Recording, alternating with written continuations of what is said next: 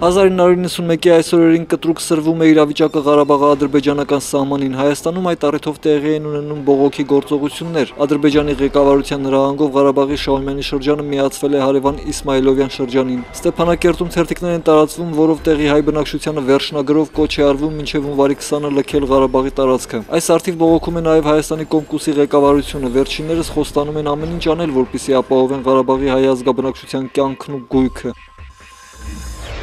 Իրավաբան Պուշկին Սերոփյանը դատի է տվել ազգային հերոստանգերության լրաբեր լրատվական ծրագրին 1998-ի այսօրը դատարան է ներկայացել ծրագրի ղեկավարն ու լրագրող Արտակ Ալեքսանյանը։ Սերոփյանն Ալեքսանյանին մեղադրում են նախորդ տարվա օգոստոսի 4-ի իր ասուլիսն օբյեկտիվ չլուսաբանելու եւ իր անձը վիրավորելու համար։ Ասուլիսին ներկայացել էր Գայանե Փայտյանը, տեքստը գրել է Արտակ Ալեքսանյանը, խմբագրել է Հրայր Զորյանը, վիրավորվել է Պուշկին Սերոփյանը։ Դատարանում քննվող ռեպորտաժը չի էլ ցուցադրվում։ Հայցադիմման հիմնական կետը, որ ռեպորտաժում կոչ է արվել բոյկոտել սեմինարը իրականում չկար, որովհետև իմ ռեպորտաժում ընդհանրապես կոչ էր արվում բոյկոտել ոչինչ չասող ասուլիսները։ Կոմկուսը 1999-ի այսօրը հավաքվել է կառավարության մոտ արևմուտքի հանդեպ իշխանությունների շողոքորդ վերաբերմունքին վերջ տալու պահանջով։ Ըստ կոմունիստների Հայաստանում սակագները բարձրանում են հենց արևմուտքի պահանջով։ Իսկ երբ կոմունիստները վերադառնան իշխանություն, դրան վերջ կտրվի։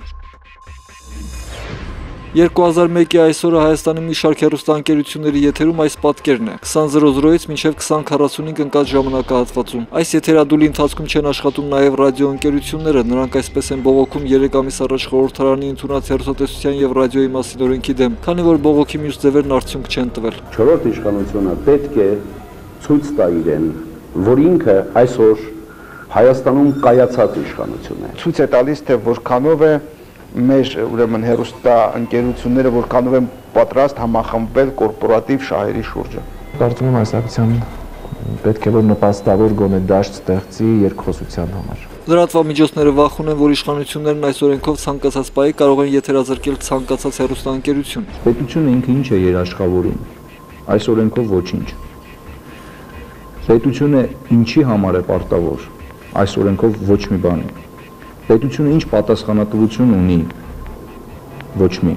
եւ հակառակը ցանկացած տեսակի абսուրդի հասնող պատասխանատվություններ դրվում են անկախ ԶԼՄ-ների վրա։ Կարծում եմ, որ Հայաստանի Հանրապետության նախագահը անպայմանորեն օրենքը կվերադարձնի ազգային շողով վերանայելու լրացումներ եւ փոփոխություններ անելու այդ օրենքում։ Վարչապետ Անդրանիկ Մարգարյանը 2001-ի հունվարի 12-ին ներկայացնում է Երևանի նոր քաղաքապետ Ռոբերտ Նազարյանին, նախորդն Ալբերտ Բազեյանն էր։ Ես շնորհակալություն եմ հայտնում։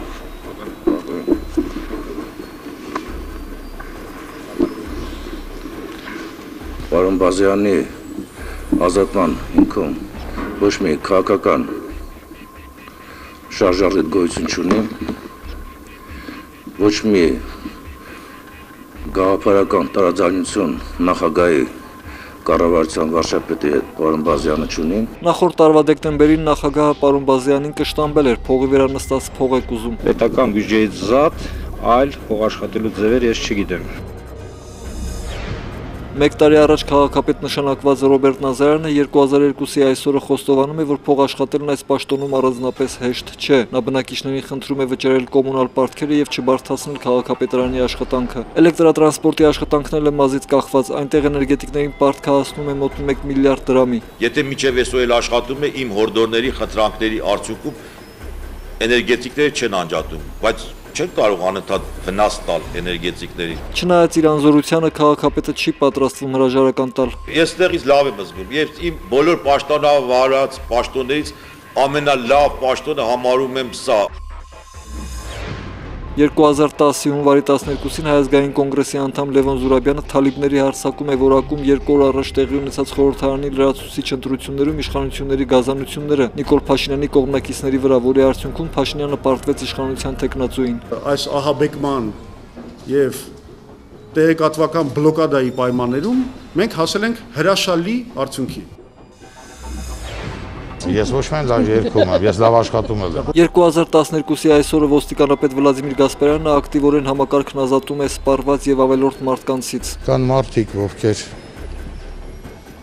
Ուղղակի զբոսաշրջիկի կարգավիճակ են ունեցել, արդյունավետությունը 0 է, պետքա չլինեն։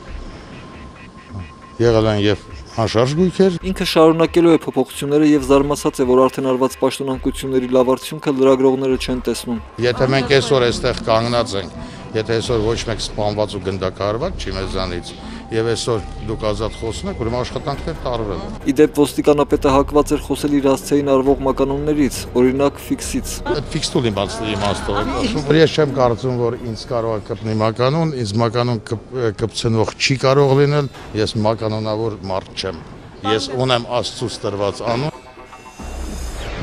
2012-ի այս օրերին սկսվում է Երևանի Մաշտոցի պողոտայի սկզբնամասում գտնվող Փակ շուկայի ավերումը։ Փոխարենն ինչ է կառուցվելու ոչ ոք դեռ չի կարող ասել, նկարահանումներն արգելում են։ 10 օրից ա մենք բոլորին կկանչենք, բոլորից հետ ինտերվյու կվերցնենք։ Շուկայի պատասխանատուն հերքում է, որ քանդվող տարածքում ստորգետնի ավտոկայանատեղի են կառուցում։ Բաները մաքրտում ենք, Առայժմ խոսք չկա նաև թե ով է այս ամենը նախաձեռնել, ով է նորոբեկ դարձող շուկայի իրական տերը։